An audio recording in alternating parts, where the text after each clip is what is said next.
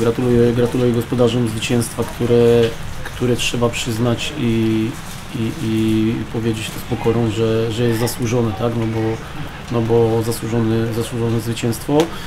Największy problem jest to, że problemem największym z mojej strony, dla mojego zespołu tak na gorąco jest to, że w momencie straty bramki na 1-0 przestaliśmy realizować całkowicie założenia taktyczne. Tak jak, tak jak do tej 25 minuty gdzieś tam mieliśmy swoje sytuacje, ten mecz, ten mecz był, był y, pod pewną kontrolą, tak, tak później za dużo przestrzeni zostawianych zawodnikom y, Pogoni Grodzisk, bo do tej pory gdzieś tam do tego momentu fajnie doskakiwaliśmy, fajnie potrafiliśmy odbierać, mieliśmy swoje ataki szybkie, byliśmy w miarę szczelni, a tak jak mówię, straciliśmy bramkę na 1-0 i to się strasznie posypało, więc tak dobrą drużyną jakościowo jak Pogoń Grodzisk y, 25 minut nie wystarczy, żeby ugrać dobry wynik i, i tak jak mówię, dla mnie największym też z drugiej strony, może nie problemem, ale najważniejszą rzeczą teraz, teraz po tym meczu już jest jak najszybciej go zamknąć. Wiadomo, że, że go trzeba przeanalizować i, i gdzieś tam y, y, porozmawiać o mankamentach z zespołem, ale zostały nam dwie kolejki i, i ja muszę pozbierać zespół i musimy po tej porażce y,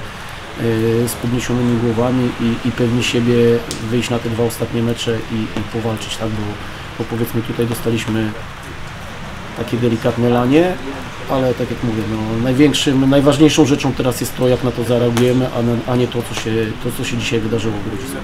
E, Z pewnością razem z zespołem cieszymy się z tak okazałego zwycięstwa. E, Uważam, że mieliśmy dobry plan na ten mecz, kontrolowaliśmy spotkanie. Na pewno nie ustrzeliliśmy się błędów, ale, ale to nie były poważne błędy, nie było konsekwencji.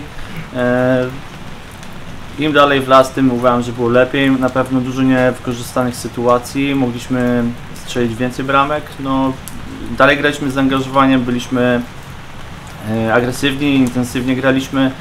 Cieszę się, że zagraliśmy na zero z tyłu. Broń grała bardzo ambitnie, no ale dzisiaj, dzisiaj na pewno byliśmy mocnym zespołem jako, jako całość i no mówię, cieszę się, że po tej serii takich gorszych wyników e, zaczęliśmy poprawiać się i no tutaj zostały nam jeszcze dwa ważne mecze. Mm, Podejdziemy skoncentrowani, wszyscy są zdrowi, więc no, jestem optymistą i, i damy siebie wszystko w tych pozostałych spotkaniach. Bardzo się cieszę z dzisiejszego wyniku, z dzisiejszej wygranej.